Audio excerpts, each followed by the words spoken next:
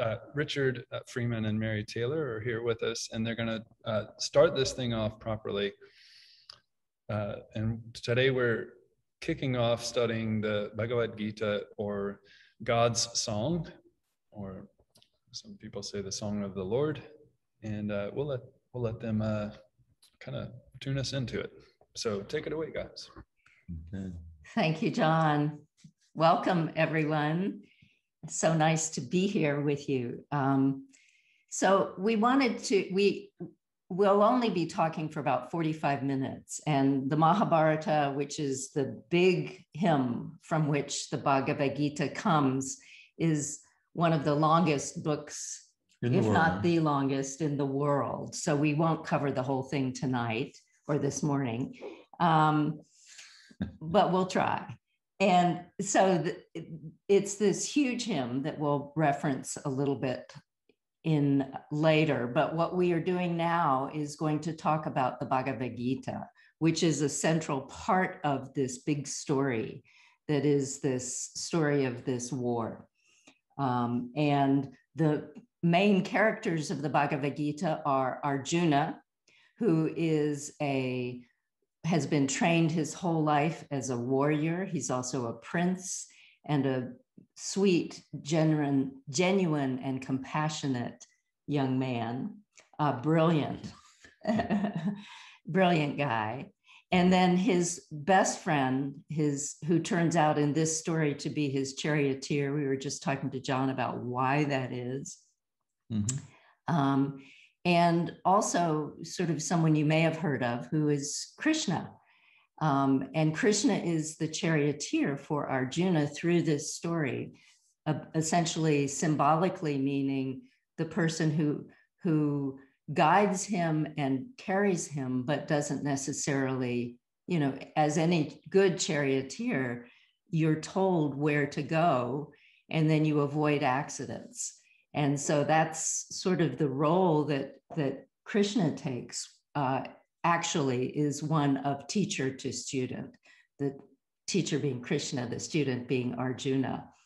And one of the techniques that is very powerful as a teacher is to be there holding space and allowing students uh, or children, if you have children, to find their way, giving them the content, the information, the support they need, but then not just saying, here, do this, do this. Uh, instead, letting them stick the screwdriver in the electrical socket um, almost, um, and then saving them from such a fate. And so the story begins uh, of the Bhagavad Gita. There's this big uh, war that's about to, a big battle that's about to happen, and that's been evolving for years and years and years uh, between uh, two sections of actually what was one family, and that's what uh, is you know extended family, and I think that's one of the profound things that's realized when uh, Krishna actually draws the chariot up on the middle path between the two armies. Arjuna, who's been uh, kind of awakened by the blowing of conch shells, he looks and he says, Oh, look at this basically one family, because he saw on both sides. And it's uh, his family. Yeah. It's his, his, his extended, extended family. family. Yeah, on both sides. And he has teachers on both sides and he knows the uh, the politics on both sides, and uh, and people that he really adores, uh, and and so they're there to be, you know, Arjuna is there to be one of the warriors to fight in this battle, and to as he mm-hmm. pulls up to this middle path between the two sides, he is completely overcome by um, a crisis of conscience where he realizes that he has been trained his whole life to be a warrior, but also a prince, uh, someone a diplomat, a diplomat, and he um, he is an impassioned person, and he realizes that if he goes ahead and fights, many, many, many people he loves and respects will die, Um, and if he doesn't, the same is true. So he is representing what we all run into um, in differing degrees throughout our lives, uh, um, circumstances that are complicated, that may present crises. And so the book is a story um, that is, you know, the story of this particular crisis of them pulling up into this battlefield. And it happens to be the battlefield that is the battlefield of um, dharma and action so purpose and action in a sense. And you know he's he's completely overwhelmed by this. But also the book is one that the bhagavad gita is one that really relies on and teaches the value of relationship. The relationship between krishna and Arjuna, for one, or the relationship between these families, or the relationship that we all have to the environment and to nature and to the world and to each other. Um, and so it's one um, that emphasizes that. And then the book also truly emphasizes the power and importance of embodiment. Um, and so it's for yoga practitioners or people interested in studying yoga asana or philosophy, it is just this profound book that um, allows us to really truly um, get to the juice of what life is all about and then mm-hmm. explore that and so it begins when they drive up onto the field and you know as john was saying uh, arjuna is you know, the strong guy. Well, Arjuna is famous for good posture yeah. Uh, as a yoga because he's ambidextrous and he he's able to shoot bow and arrow behind his back while looking at reflections of things. So he's uh, he's extremely embodied by nature and has good yoga. He has naturally good posture. And so to see Arjuna slump, which is what he does, and break down on the chair is just like this has never happened before. It's, it's just completely. And so he just says, I can't do this. You know, it's too much for me. Uh, I, I'm, I'm, he drops his bow, he drops his uh, mm. conch, and he just collapses. And that's where the teachings begin. And it begins with an overview of Sankhya theory. Yeah, which doesn't actually answer Arjuna's question, which is what, should I fight or should I not fight? And uh, but that's actually very brilliant in that uh, Krishna never acts, actually answers his question. He says, "Do at the very end." He says, "Do as you choose." You know, after all these teachings, now you know, just take a shot, or maybe that's the wrong word. do as you know your best. Take your best shot at it, and then you're going to get feedback and then you'll learn um, you know because who knows uh, what's going to actually work. And so he begins by uh, pointing you know arjuna is actually kind of weeping and is you know in a very tamasic state. And uh, and so krishna's first teaching is uh, you know you're you're talking about wisdom but someone who's wise arjuna uh, never grieves for the living or for the dead.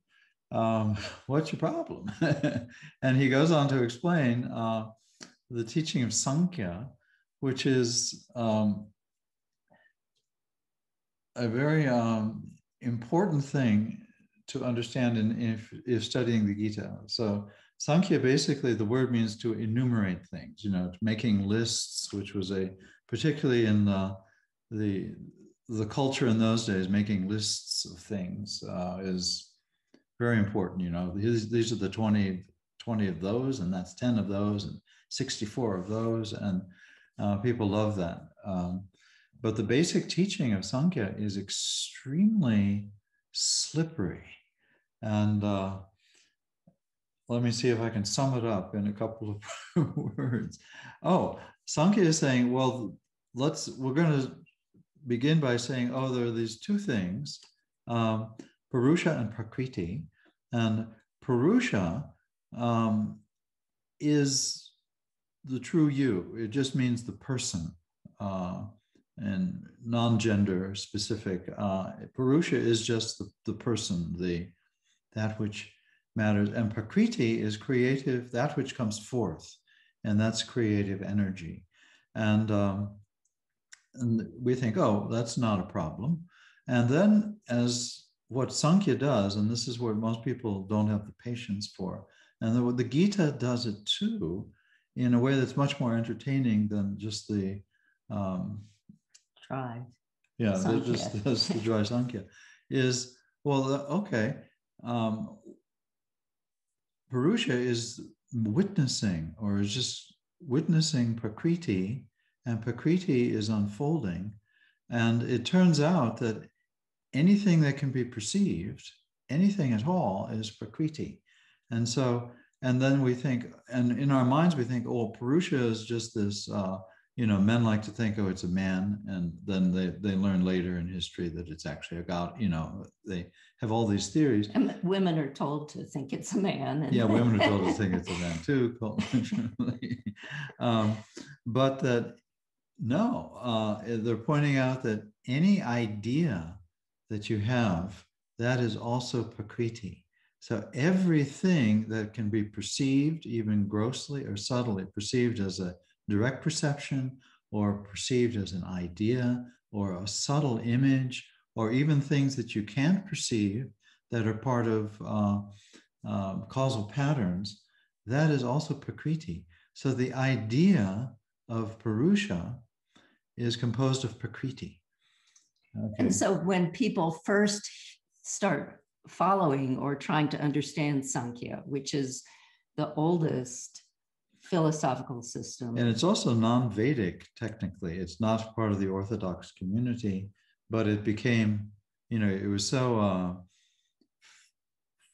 fun and funny to, to those who kind of really went into it that. Uh, uh, Vedic culture said, "Yeah, we'll take that too." And, and so, at first glance, because you have Prakriti and Purusha, you are, you know, the tendency is to think of it as a dualistic yeah.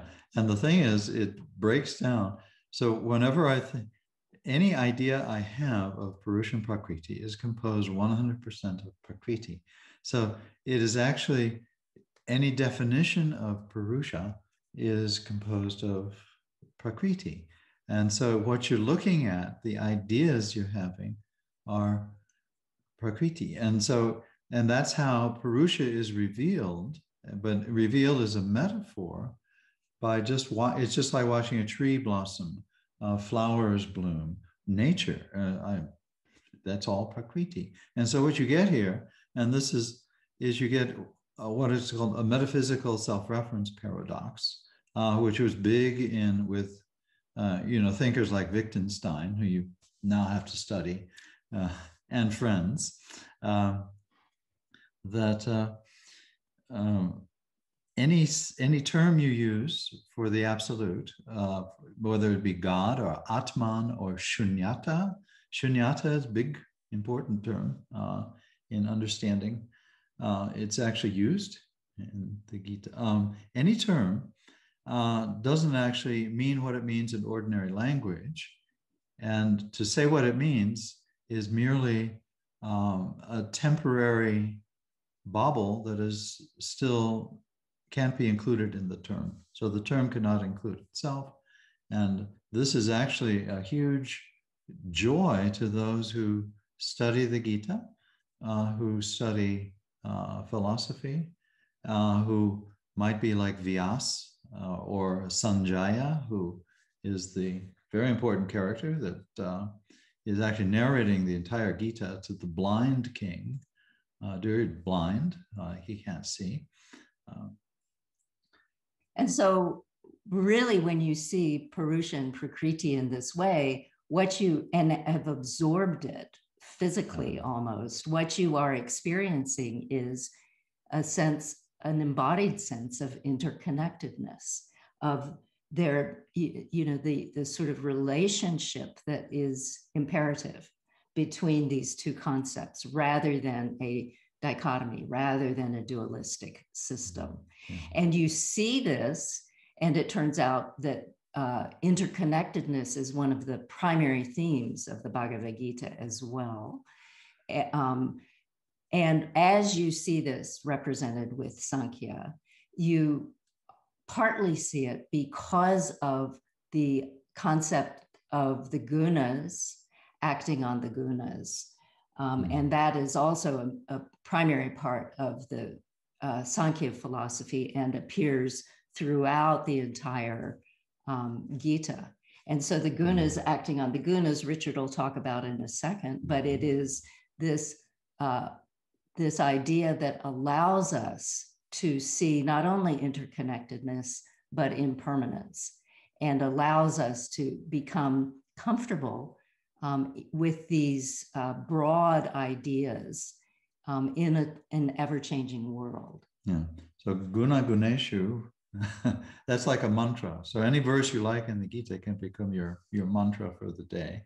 Guna guneshu vartanta. That's my, you know, I just can't get it out of my head. And so anything that you're experiencing, like say you're doing yoga and you feel light, uh, or you feel like a tube that goes from your heart over to the crown of your head, or you feel uh, anything you experience, um, what the Gita is pointing out, what Sankhya points out, is saying, oh, that's Prakriti too. That's this divine, interconnected, unfolding, blossoming uh, totally impermanent, totally empty of actual anything permanent uh, self. And these are things that people normally wouldn't think. Oh, I saw this light. I saw God, or, or I saw, you know, um, you know, I had a vision of, you know, this deity or this uh, prophet, and but the Gita was very gently pointing out, oh, that's Prakriti too. And then I feel like, oh, there's clear, clean air in my nostrils because I've been practicing. And uh, and then they oh, that's Prakriti too. And it's like, oh, I wouldn't have thought of that. And then all of your your religious ideas, your mantras, um, your uh, Indra and uh, Varuna and you know all of the, the the gods and then the the demons. Oh, uh, you know they're composed entirely of Prakriti too. And this is an intense teaching uh, because uh, when it's saying that everything is impermanent, Arjuna, nothing ever dies, you know, even all of your ideas about how that feels. Oh, I see, like the 11th chapter, um, uh, it's revealed, or Arjuna kind of, it isn't actually an hallucination, but he sees all of the heads of all of his friends and people on the battlefield being crushed between the teeth of this uh, horrific form that he's imagining is reality. And he, this is time and it's crushing. He says some of the and the my you know they get their heads caught between the teeth you know like uh you know blueberries or something. And so and but all of that also is guna guneshu. It's all gunas on gunas. And so and then when you realize that you just have this sense of uh, anything I say is going to be gunas on gunas. But let me define gunas. So the three gunas, tamas, rajas, sattva. Uh, tamas just means fixed, steady. And this is very important if you're going to create time and space. And then soon after, there's a fixedness and steadiness, which is like a, you know, 1.1 thing. Uh, the in the background, there's forming the antithesis to it, uh, which is the entire context. And antithesis is the immediate context or definitions that, but then if you stick with the antithesis is everything else, uh, which is quite limitless. And then when you realize, which is very and that's now rajas. and then, yeah, the rajas. But then when you see, oh, uh, the thesis and the antithesis are actually interdependent um, there's not a conflict, there's just an interdependence. Then you have what is called sattva, uh, which is like, ah, sat meaning truth, uh, truthness, uh, truthness. And truthness is the, the light. Oh, but then I just defined another thesis that needs an if I so anything I say then has to go through the process of synthesis. And in the synthesis, there's the that's the prakriti unfolding or being given space. And, and, and so when you look closely, whether it's an idea like this or whether it's um, a relationship that you happen to be in or you know a an action that you happen to be taking you know the idea is that everything has that sort of wave pattern of something that is stuck tamas or and stuck is a prejudicial sounding word so it's solid stable not moving um, and when we as yoga practitioners start thinking about the gunas or sattva tamas and rajas often people say, well, I just want the good stuff. I want to have everything sattvic. and it doesn't work like that. Life is not like that. The idea is that you have to have this stability. You, and then the rajas element that comes along and upsets the apple cart. And then it doesn't actually, it only upsets it in your mind, really, because the whole thing is still one. It doesn't separate everything out even if the apples mm. have fallen way away from the cart. And then that that is this new formation of something that suddenly blossoms into something that is this remarkable balanced quality of sattva. But then, if you sit in the state of things being sattvic, um, it you know it's like as you sit down to watch a movie if you do at night and you you know you're all spunky and you sit down and by 15 minutes in when you've collapsed like that that's where sattva has like degraded into tamas and you need to have like a little boot coming along to kick you into the next um, integrated form and so this idea of this hmm. wave pattern of change is uh, really strong in the Gita and appears over and over, um, and is one that is really worth contemplating because it is one that demonstrates to us the real necessity in order to face the crises that we have, in order for Arjuna to face the crises that he has. Um, we have to be uh, agile enough to be comfortable with not knowing circumstances, not you know doing the very best we can and trusting the process of the um, changing of time, the changing of circumstance. And so it's a really key um, hmm. idea in the Gita, but it's also a key idea in Buddhism and overall in yoga. And we see that in our asana practice, where if you are too stuck in your ways with what you think your leg will do today, um, that can turn out to be a problem. Um, not maybe not every time, but but over the big picture of things, it does. And so that that is a huge lesson that in the very very beginning of the Gita, our Arjuna is taught by Krishna, to trust interconnectedness and to trust impermanence.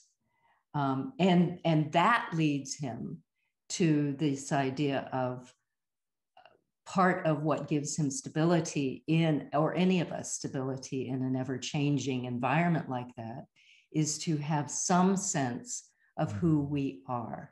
Our Dharma and our yoga practice are, our actions. Those are the sort of some of the things that help us to get our feet on the ground so that we can be steady and stable in the face of ever changing circumstances. So, Dharma is something that is very important to sort of look at when we're we're considering the Gita. Dharma in the sense of you're thinking initially in the sense of mm-hmm. duty, uh, but it's also in the sense of the quality uh, of something. Mm-hmm. And, and yeah, and so there's, there's a funny phrase, Sanatan Dharma, which uh, is big, you know, in which is almost a response to Buddhist Dharma teaching, um, meaning the eternal Dharma. But by eternal, uh, what do you mean? And so, because what is time? And so the interesting thing about the the the Sankhya teaching uh, is that uh, it always makes you question uh, what's what's actually happening. Mm-hmm. And yet, at the same time, here's Arjuna, and he has to do something. And so, so what what should I do? And uh, Krishna doesn't actually answer that uh, in the in the Gita, which is like, you know, but he gives some hints. You know, why don't you do what actually works? And so his so if you look at the story, mm-hmm. Arjuna's dharma, his his sort of dharma can mean our our job, our duties, our um, sort of what we our purpose in life is, and in, in a very sort of pragmatic way. Mm-hmm. Um, Arjuna's dharma as a warrior and a diplomat.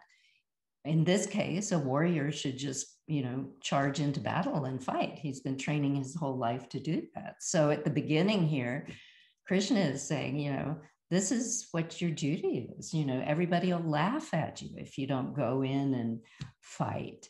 And this is what you must do. But what he's uh, the the actual bigger picture that he's setting up for Arjuna to recognize is that Dharma, whether it happens to be that you are a warrior or a painter or whatever, but Dharma is completely context dependent.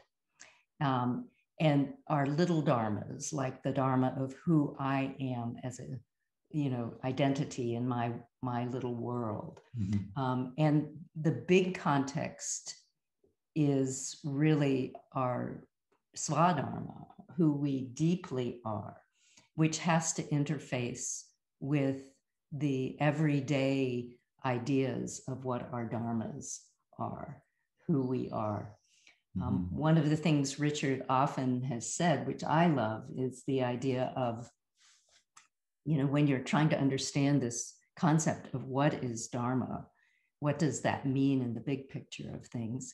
Because it can mean the teachings and the duty, etc. But when you've called it the glue that holds everything together, um, mm-hmm. because it is when we look at it as that, it then starts to really reflect um, the buddhi in a in a way that I think is amazing. Yeah. So buddhi meaning the intelligence, and uh, dharma meaning that which kind of holds things together or deeper patterns. And so then there's of course the term uh, eternal dharma, but if you start looking at that, uh, then what do you mean by time? And so, and wonderfully, the Gita actually takes time apart uh, in the 11th chapter. Um, so there are many different levels to what we mean by duty or dharma. And so, um, but whatever your dharma is, you'll have you yeah. have to take action. Yeah, you'll have many different levels of it, and there's contextual dharma. Um, most dharmas are, and and so in this circumstances what what should i do you know arjuna's in this difficult situation where all of a sudden he's waking up and his insight is brilliant because he sees friends and relatives on both sides of these armies and he's going wait a minute this is not going to work out and uh, the answer just the answer of uh, this purist Sankhya doesn't give, tell him exactly what to do. And so he's still at the end of this, you know, you've taught me uh, this wonderful teaching about, some, but you still haven't told me what I got to do in this terrible circumstance.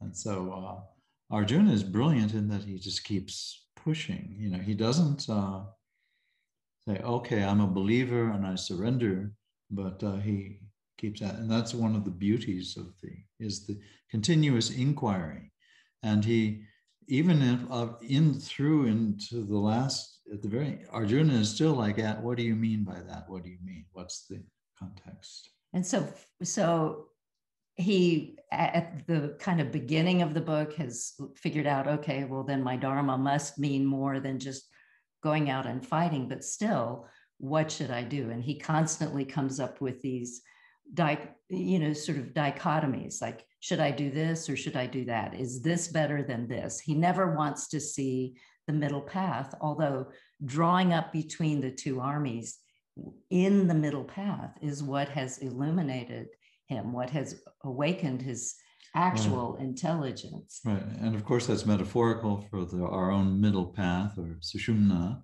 But, and once he's seen that, he's seen, oh my God, it's all this interconnected, uh, whatever. He's he, he's stunned, and he does. Arjuna is brilliant in that he doesn't like fake it, you know, where, where he says, "Oh, I'm just gonna, you know, forget that and you know just kill all these people." But he he keeps questioning, and he keeps getting excellent answers, but the answers don't actually they're all context dependent. And so if he's taught to do his duty, then he has to discover what his duty actually is. Um, or if he's, and, uh, and his friend, um, uh, Krishna just keeps kind of pushing the, the situation along. And Arjuna is brilliantly honest, but he, he throughout the entire text. And that's what one of the beauties of it, in that he still he's like, oh, I understand, but wait a second, what? And he keeps going back to asking questions or inquiring.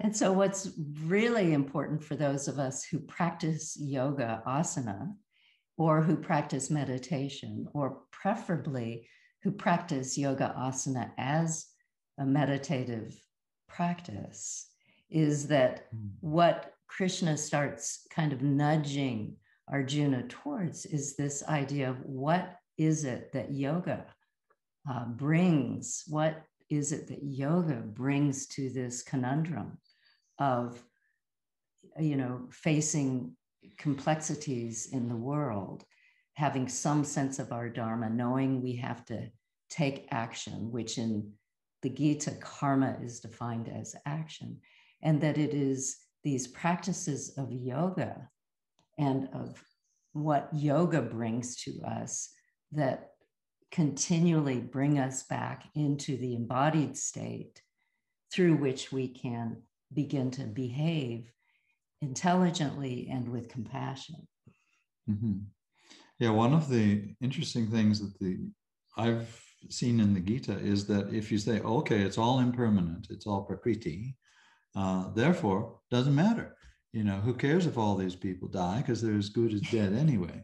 and interestingly enough, uh, in the mythologies uh, and stories around this, uh, there are a lot of uh, demons or demonic beings who would agree with that. And so, yeah, let's just kill them all because they're as good as dead anyway. And uh, and that teaching is very systematically disassembled um, because then you know the, to say that uh, you know all these bodies and all these situations and planets in this entire universe is completely because it's not impermanent therefore it's just basically trash. And uh, oh you ravana you have to look up uh, can go ahead and just exploit it to death. And uh, and so that is revealed by through this uh, dialogue with in the Gita, that's that's revealed as extreme suffering, uh, that extreme attitude or misunderstanding, and so now we're going to see that uh, yes, it's all impermanent, but what does that mean? And uh, and so we have the idea of uh, Arjuna's dharma, or what is his actual duty in this situation, uh, which he's trying to figure out, and uh, and and then since he's going to act and the inevitability of is it him acting or is it just his body and mind acting? And this is the, the beauty of the sankhya system is that well it's actually just your body and mind but the the what happens is with any embodied being is they'll understand oh i'm not this body or i'm not this mind i'm not these thoughts. And then just like invisibly it flips. And and they create another uh, false or misunderstanding of things and so that's uh, and that's time and space and this identity And so karma is the nature of prakriti, it's the nature of action. But what happens even with embodied, even with great beings, even uh, and Krishna was also demonstrated that he would do this too. He would flip into this subtle identity with uh, either the gross body or the subtle body or with the anything that is creative energy there's this identity that naturally forms almost it's an invisible change. And this is the creative principle of time and space. And so even in the myth of the mahabharata krishna uh, who is you know is pretty smart uh, he also uh, would he had an Achilles heel, which you have to read the, the Mahabharata to understand. and because he couldn't manifest without playing a game, and the game is, oh, this is me and that isn't me. And that's the game of, of creation. Uh, so, karma, what do you do? Yeah. Um, and one of the things that um, turns out to be very important to learn to do is to, to sacrifice. Mm-hmm. Um, and that's a huge um, teaching also that Krishna gives to Arjuna, and that for those of us who are embodied beings, understanding what is meant by sacrifice is really a key to being able to navigate through complexities.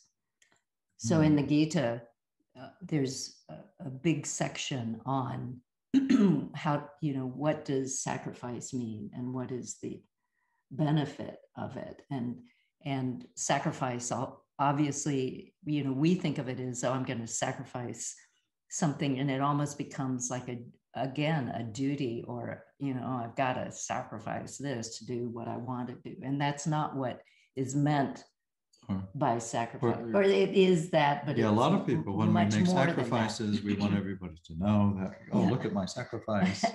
look how great I am. Of course, I'm not sacrificing my stupidity. I'm, I'm just sacrificing, uh, and so much of the uh, Vedic religion is is based on yajna or sacrifice. And because sacrifice implies, rather than the word karma, and it's a form of action, but it's something that is like, whoa, I'm going to give up something that uh, is essential to me. And of course, you know, I'm going to sacrifice. Uh, in the olden days, I'm going to sacrifice somebody else, or I'm going to sacrifice a horse, or I'm going to sacrifice, uh, you know, like uh, in some religions, I'm going to sacrifice my firstborn child. Um, uh, or I'm going to sacrifice something that I don't want anymore. You know, I'm going to sacrifice cow. all of my used clothing. I'll sacrifice it. And uh, but what's being implied is um, is the letting go or giving a giving away, and it becomes potent or something when it's something that uh, actually is is is close to you. And so eventually we are sacrificing uh, everything. We sacrifice, we, and this is done symbolically in the, the fire sacrifice, the ritual. Um, but in yoga, it becomes gradually more than just symbolic. Mm-hmm. Uh, and so we, we are actually sacrificing jnana or wisdom. We're sacrificing all of our formulas about how the universe works. And we're placing on the, what we'd say, the altar of pure chit or pure awareness, uh, even the entire text of the of the Mahabharata, you know, where that doesn't mean you're getting rid of it. And we learn that sacrifice doesn't mean to reject. It's like taking that and you're just like letting it go for the, and in the Gita it becomes sattvic uh, or productive or brilliant when you you let it go without the sense of hating it or rejecting it or knowing it's the you know the something that's used it's like i, I sacrifice my used clothing or something but eventually you're going to sacrifice uh, in the metaphor of the Vedic sacrifice.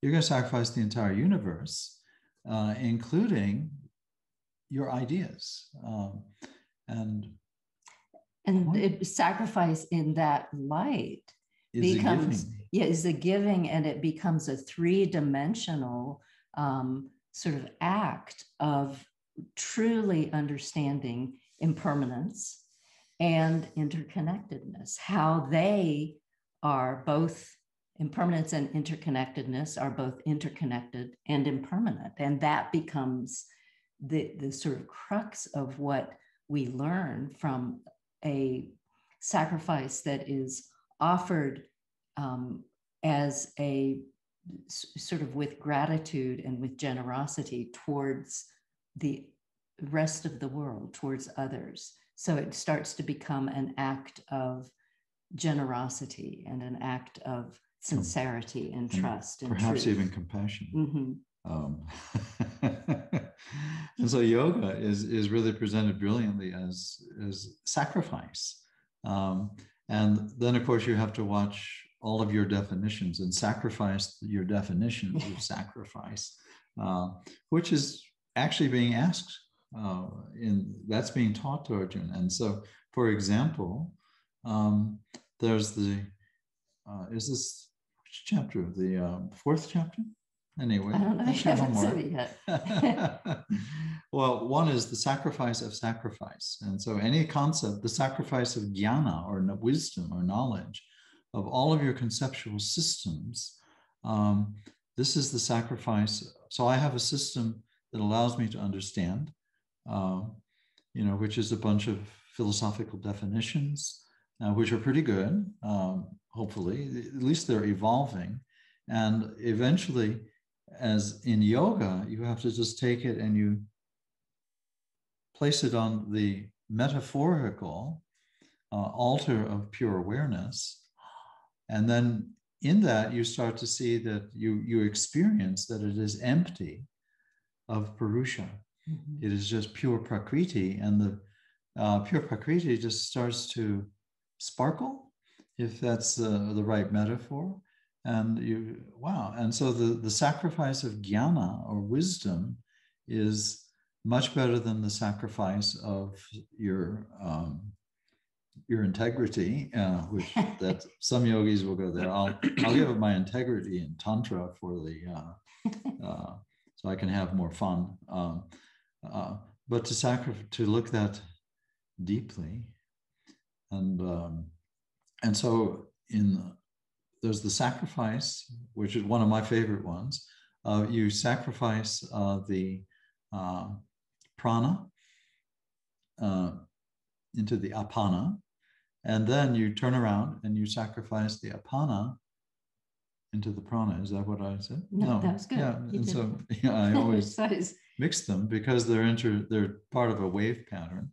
Um, and so this is considered a very, this is the kind of sacrifice that is being taught as what yoga actually is.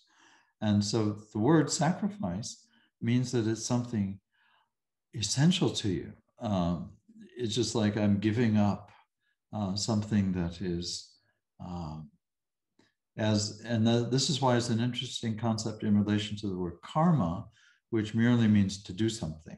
And so this is looking at the a particular level of action, uh, which uh, is this continuous giving.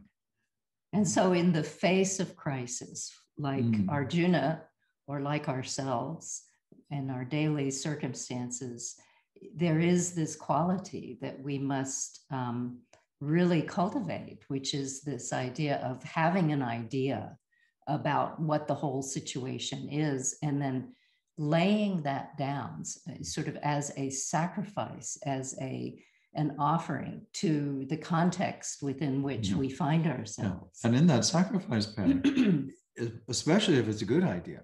Okay. because yeah. also we just want to sacrifice, you know, our, our trash or something. I'll I will compost that. But uh, even your brilliant ideas, which you know we we love to think we have, but uh, those have to be sacrificed too. And when you sacrifice them, you get um, the metaphors, you get an upgrade. Um, and so, particularly, and so you eventually give, you're going to sacrifice your entire life, uh, which doesn't mean suicide, uh, because you're as good as dead anyway, if you look at the, the teachings of Samkhya. But uh, you're going to sacrifice all of these uh, brilliant thoughts you have. You know, you, you start to study something like the Gita or Mahabharata, and you go, oh my God, that is sacred too. I had no idea that, uh, you know, um, you know, libraries were sacred, you know. And so it doesn't mean you burn the books, but you're going to sacrifice the wisdom. And what that does is it illuminates the uh, prakriti or the structural patterns of knowledge and wisdom. And then you can let them go. And in their release, um, there's the uh, insight. And so the, the Gita is asking, you know, that yoga is this profound sacrifice, and, and which is essential to to love, to yeah. to finding, you know, what's actually going on. And when we we are doing sort of like the fast track for the Gita here, covering as much as we can, but this idea of sacrifice really also starts to be reflected in um, Krishna teaching Arjuna about interconnectedness as he presents himself as being everything in the world. And Richard had talked about, you know, seeing the demons and the good guys and bad guys being crushed between the teeth of time. And Krishna reveals himself both metaphorically and you know, in imagery as being everything. In other words, he is not a God that stands above everything else, but he reveals himself to be this or to, be the simplest things like water, the taste of water.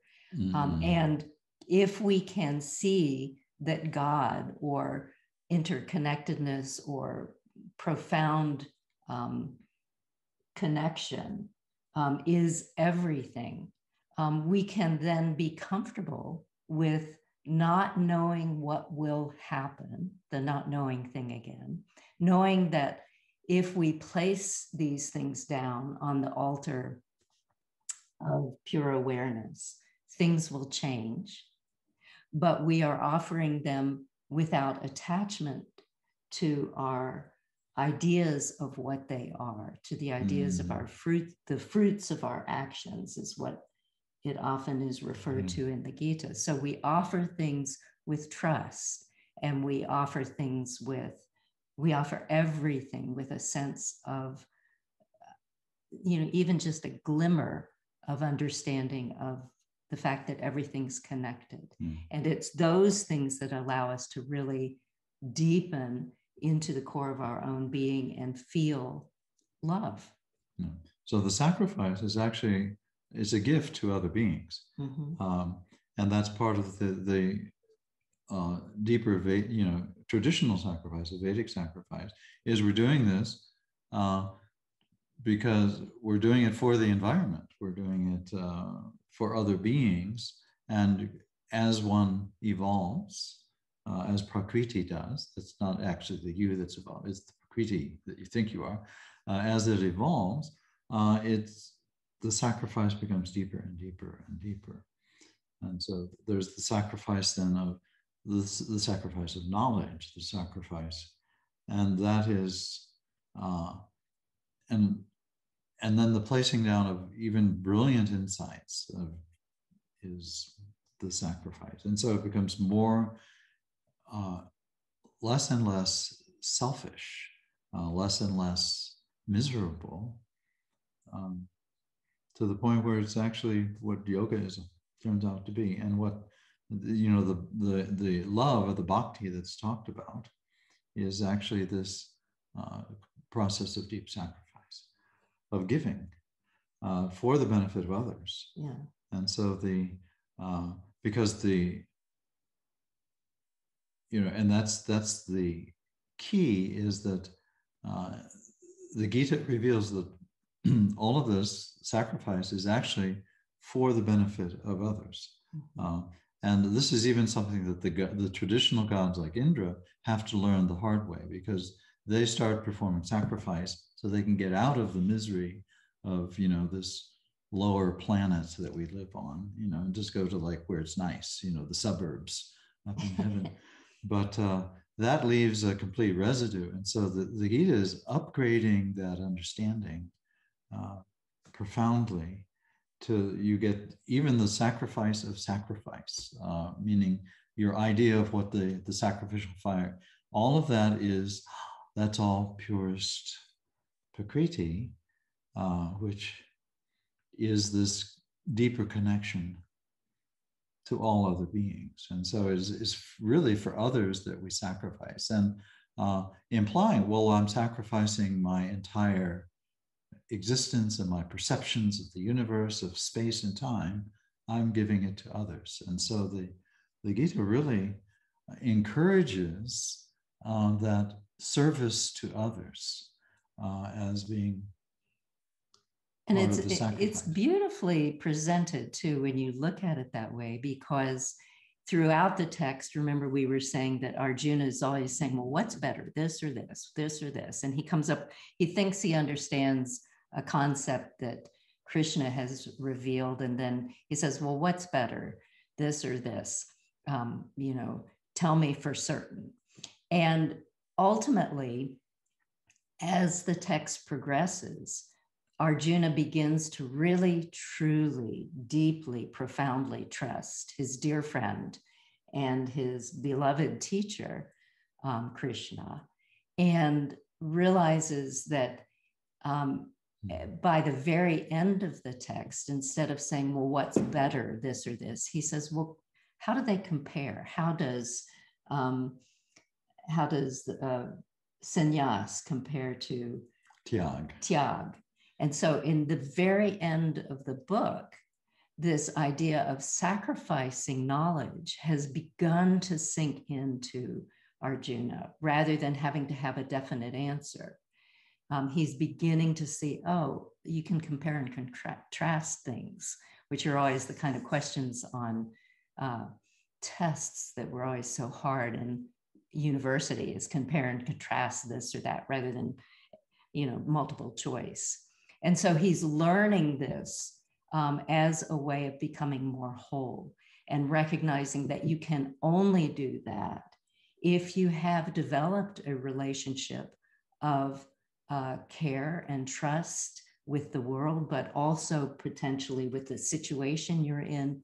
Or in the case of the Gita, it's revealed the trust that is developed between Krishna and Arjuna throughout the text. Mm-hmm. And so at the very end of the text, still, as we've said, 18 chapters later, uh, Krishna has not said, well, here, just do this and your problems are solved. And he says, and he, he's teaching, you know, the profound joy of, uh, you know, waking up and then uh, of then, um, you know, seeing all beings, you know, seeing all beings truly for what, including yourself as for, you know, that, that divine experience and then he says, now do what you choose. And he still doesn't tell him what to do.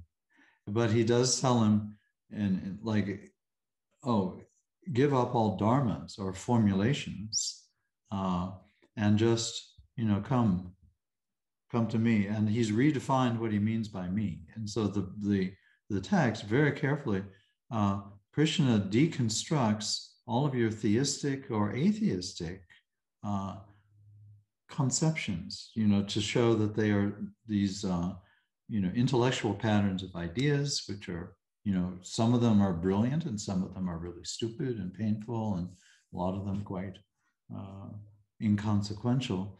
But he wants you then, oh, just let go of that because there's something uh, very important. And uh, and that's to and he's redefined. He says, "Come to me, or take shelter or take refuge in me, not uh, surrender. He doesn't use the word surrender. He does uses the term sharanam, which is a Buddhist term that, you know, many people throughout history, you know, uh, have. There's so many Buddhist terms in the Gita. It's a, it's a scandal, I think. Um, but sharanam is take refuge. You meaning, you know, you can you can come and uh, just, uh, you know, you can bring your family, and uh, if you're going to take refuge, bring your sleeping bag or whatever. And rather than surrender to me, meaning, you know, I've beaten you down and now you have no choice. You are my, my uh, uh, eternal slave. That's kind of scary. Uh, and so, so it is this release of all the dharmas, which are uh, the formulations, and many of the dharmas being released are, are brilliant.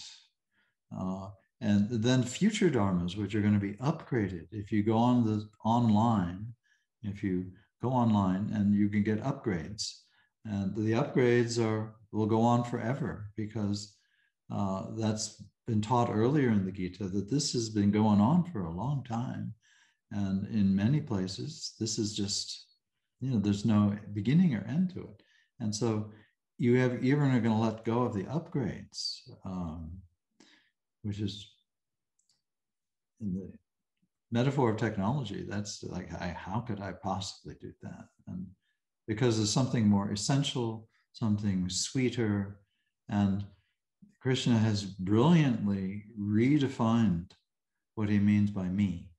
Um, and by that point in the go, you're not sure whether you are, you know, the, the two are quite confused or interwoven in a, in a very delightful sense.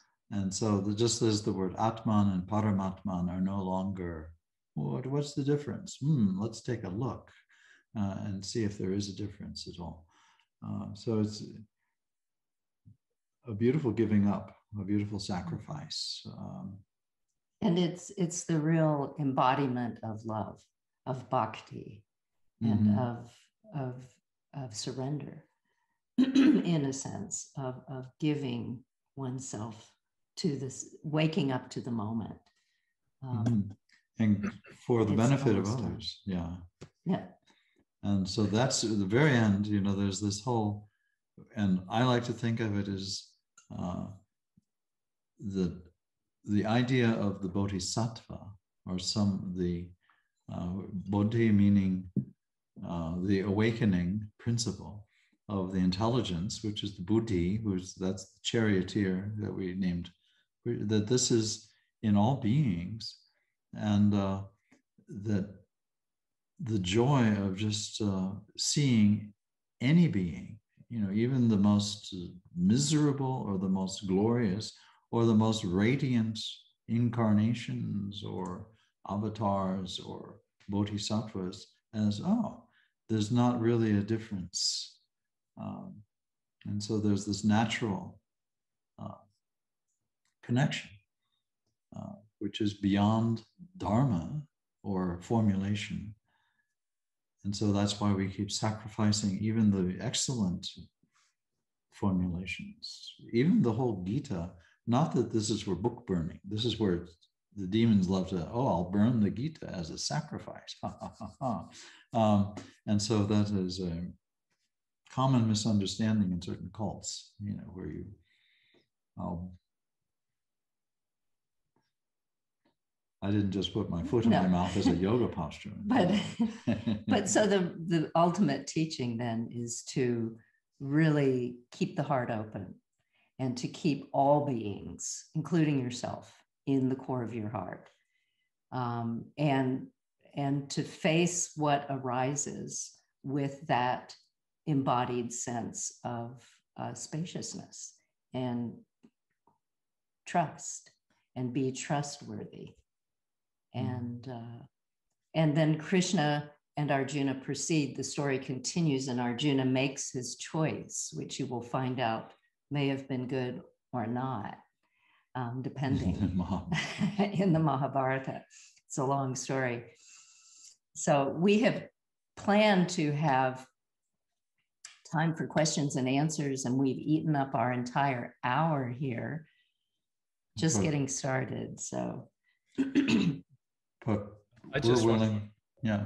Just to quickly interject. So um, uh, I want to kind of outline what my plan is for what we're going to be doing. And the, the first um, first thing that I would say is just the plan is to roughly cover a chapter a week, uh, which is somewhat ambitious, but to kind of s- stay on course with the text. The first word of the Bhagavad Gita is dharma, and the last word is mama. And you can kind of think of that as dharma as in, in this sense, uh, following up on what Richard and Mary were talking about, is the text is really asking about what is your dharma, like how is it, how is it applicable to you? So as you're reading this this amazing thing, my suggestion is to not think of it so much as what's going on out there, but to think of it as how does it apply to me and what's the point? And uh, this is kind of a moksha shastra, which is to say it's it's dealing with how to find uh, joy and, and, ideally lasting joy. Um, and so that that dhamma and, and sorry, the dharma and mama means like what is your calling? What are those things that you can do to create that synergy, that that that like group uh, higher effect that uh, you may have experienced.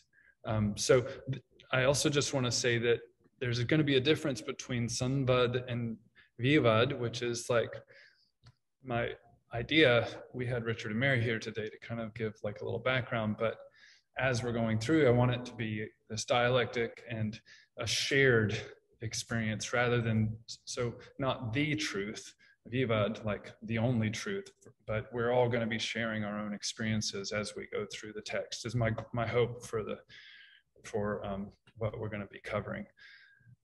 Okay, that was a lot. And then uh, the other thing that I wanted to just quickly mention is um, I, I, highly recommend their text to go to. I really, really love the translation. Um, you guys did an outstanding job. Um, this is also a very good resource just to kind of contextualize and put things in a framework uh, for what's going on. And then if you're a little bit more of a academic, then you can get the Bhashya of uh, Shankaracharya. Uh, you know, which he doesn't start his commentary until the second chapter, which we're going to start on the 30th.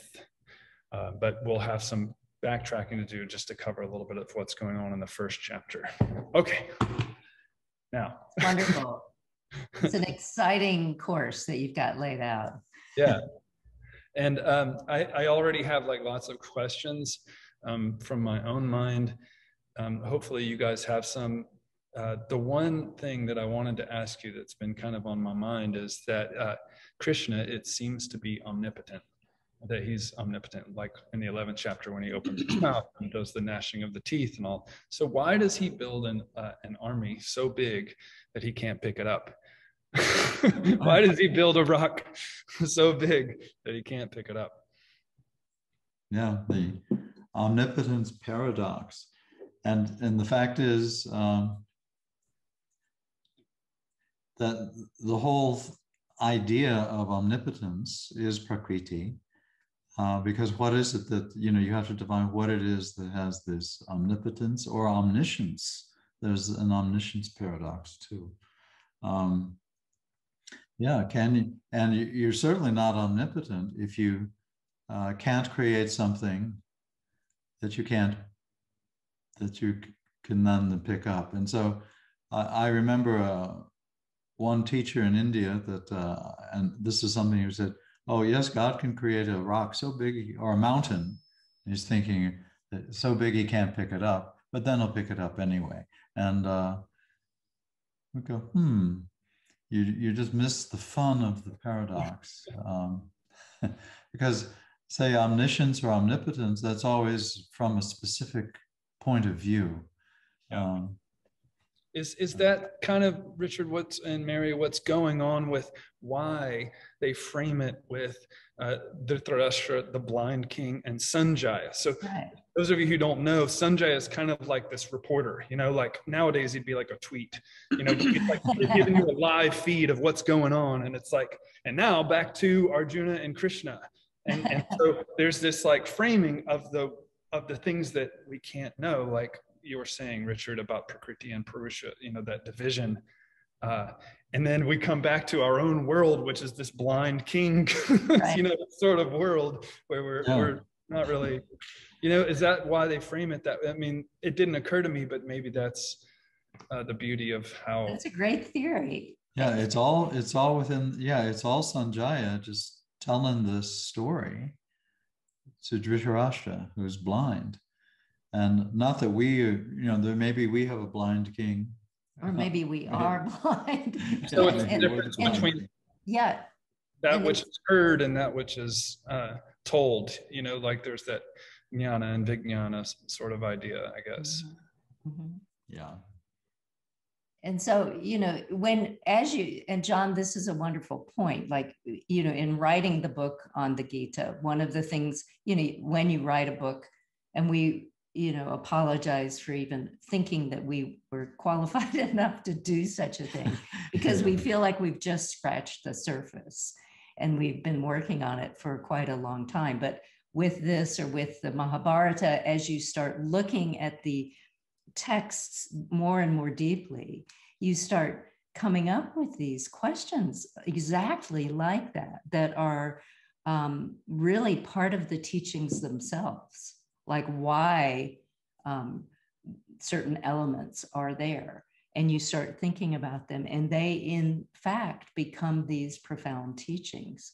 Um, so, the, the, the bottom line with a lot of these is that they provide sort of limitless um, information if we don't do the thing that humans myself you know all of us myself to a big degree tend to do which is to draw a conclusion and then say okay i got that one figured out. I'm checking it off my list.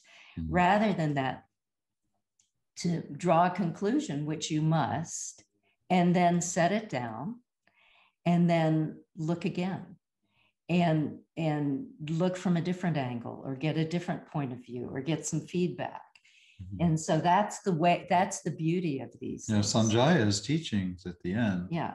uh, that he's explaining to the blind king Dhritarashtra, uh, those are very profound. Sanjaya really is he's saying again and again i return again and, and, and he keeps repeating himself uh, about I listen to this dialogue, and he's listening actually to uh, well, one in the the story itself, but he's also listening to this ongoing dialogue, which is happening currently uh, in the form of your mind.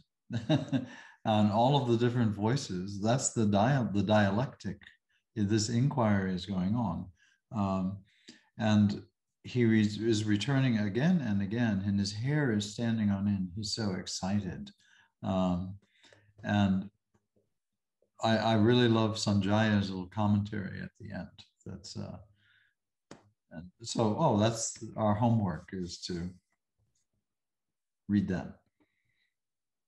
All right. Well, thank you so much. Uh, I'm afraid we have to cut it short there, but um, uh, so lovely to have you guys, and maybe uh, we can plan to try to shoot for having you guys back on according to your schedule as we get closer to the end. If yeah, if we'd love it. That'd be great. That'd be awesome. Wonderful. Yes. Thank you guys, everybody, for showing up, and uh, feel free to send me questions for the next ones that you have, and follow along on the thirtieth. Um, next week as a as a moon day for us on the Friday, so uh, we'll, we'll start on the 30th of July. Wonderful. Thank you, everyone. Thank you so much for doing this, John. Yeah, thanks, John. Good yeah. to see you all. Bye. Bye.